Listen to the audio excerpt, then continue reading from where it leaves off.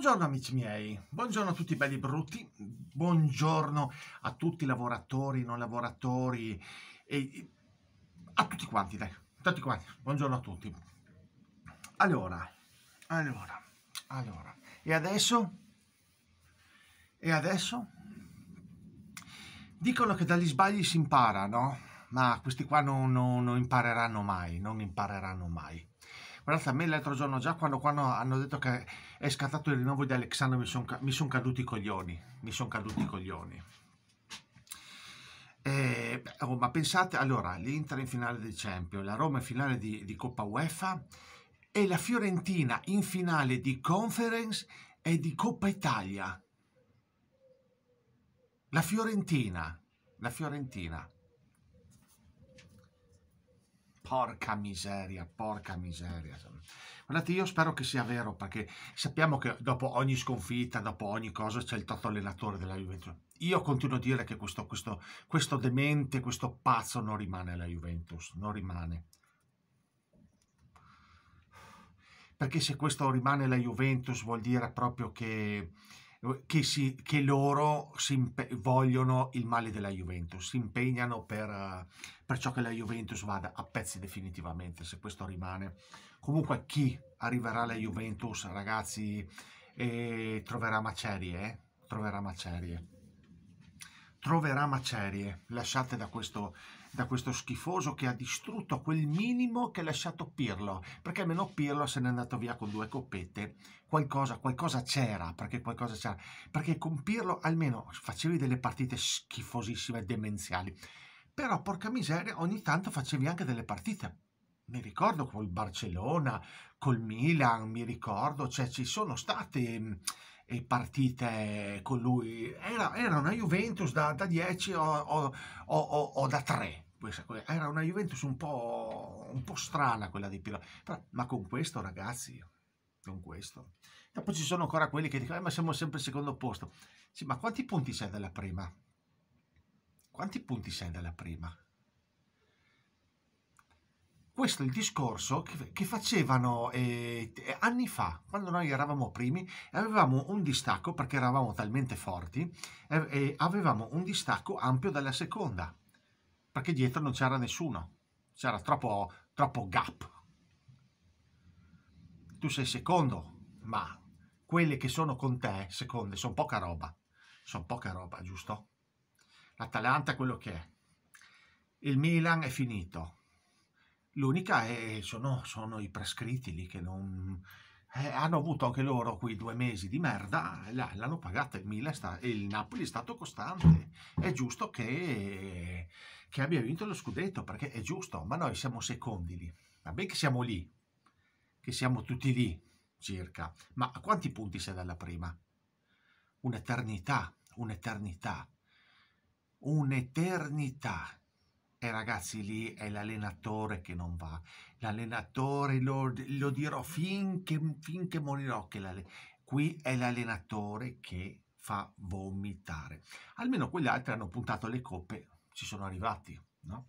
Questo qui punta tutto quanto, no? Eh, e poi non, non, non, non arriva a un, alla, alla, fine, non arriva a, far, a, fare un cazzo questo qua. Punta qua, punta là, punta, punta una almeno e, e, prenditela, no? Quella competizione là. Ma proprio questo qui non, non ci arriva, non ci arriva, non ci arriva. Non ci arriva, non ci arriva. E adesso, guardate, io... Questa notizia è arrivata di, di Spalletti Guardate veramente se Spalletti era già all'orbita Juventus del dopo Cardiff, dopo quel maledetto lì lo ha, rinnovato questo schifoso per altri due anni, no? E se arrivava, se fosse arrivato Spalletti le cose erano già diverse, erano, sarebbero state molto molto molto diverse, perché quello lì se viene fa pulizia, eh? Quello fa pulizia sul serio, non si tiene le, le merde, prendimi quello, dammi quello, quello, quello via, quello proprio fa pulizia totale. Cioè, ragazzi c'è da smantellare qui, ma c'è da smantellare il quadrato, gli Alexandro, i Rugani, uh, c'è una, un, un, un, una lista ragazzi, ci vuole uno che sappia lavorare con anche i giovani, è inutile perché noi qualche giovane buono ce l'abbiamo già.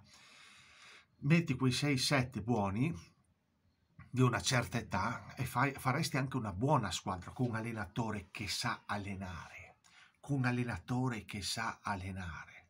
Questo non sa allenare, questo vi ripeto che più di metà squadra non lo può vedere, non lo può vedere. Ma tu dirigenza, ma non vedi sta roba? Ma non vedi quello schifo in campo? Ma non vedi i, i, i disastri che fa questo matto? Perché questo ragazzi è matto. Ma lo vedete anche dalle conferenze stampa, questo, questo che prende per il culo e la gente ride in conferenza stampa. Ma che cazzo è da ridere? Ma che cazzo è da ridere? Che siamo in condizioni eh, disastrose per colpa tua e del tuo amico lì schifoso lì che è nato in Olanda. Siamo in condizioni di... Ma che cazzo ridi? Per me quelli che ridono sempre sono coglioni, sono incoglioniti, sono fuori di testa. Uno che ride sempre... Per me è un coglione, coglione. Eh.